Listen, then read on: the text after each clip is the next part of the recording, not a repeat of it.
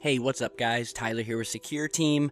Well, this is actually a pretty amazing day for our scientists and planet hunters out there, uh, as news has come in spreading across the web of three, count them, three new Earth like planets that have been discovered orbiting a cool and giant red dwarf star.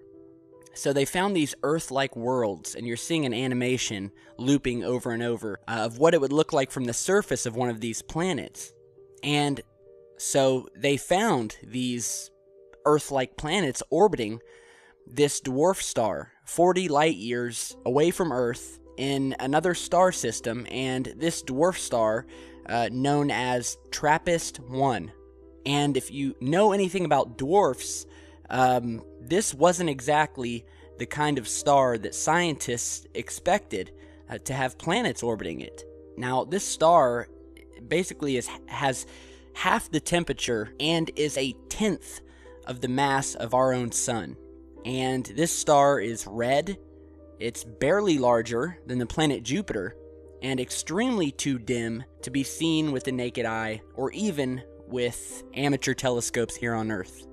But these uh, brown dwarfs are extremely common in the Milky Way, and according to the data, represent 25 to 50% of stellar objects in the galaxy, which is quoted by researcher Julien de Wit, who is a postdoctoral associate of MIT's Department of Earth, Atmospheric, and Planetary Sciences.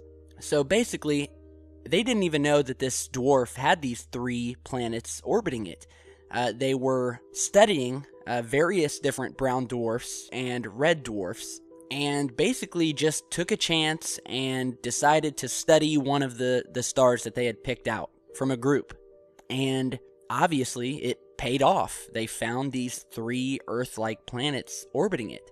And this is very exciting news because it once again corroborates our belief that there are definitely other advanced or at least living beings out there, whether they are simply in their microbial stages or if they are up, walking right, and flying around in anti gravity technology.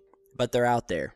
And the fact that they just basically and at random decided to study this particular red dwarf star and found not one but three planets orbiting it is just amazing and it definitely shows you how much more common these Earth like planets, just like ours, uh, are in our very own Milky Way, let alone the entire universe and in other galaxies. Now, as for the telescopes that they're using to detect and study these planets, the next generation of which will be able to search for subtle signatures of biomarkers like oxygen and provide much more detailed information about the planet's composition, temperature, and pressure. And again, as you've been seeing, we are showing you some other artist renditions of other Earth like planets that have been found, uh, such as this image here of Kepler 452b, which is basically called Earth's bigger, older cousin, which is about 1400 light years from Earth in the constellation Cygnus.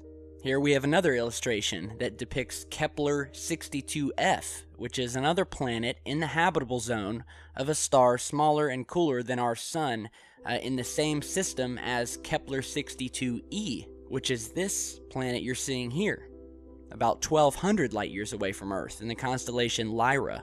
So, again, it's all very interesting. Um, it's always great to be able to post new news uh, and findings uh, from our science community about these planets that they're finding out there. It definitely increases the odds that we are going to find one of these planets and detect activity on them. It's only a matter of time if we haven't already, which is a very good possibility. So, very, very awesome. Let me know what you guys think. And uh, yeah, stay tuned, and we'll have a lot more coming. Stay safe, guys.